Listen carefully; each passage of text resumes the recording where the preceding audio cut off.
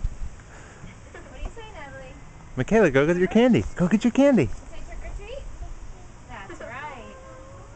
You take just one. Okay? Michaela, coming up? Want candy? Come on up.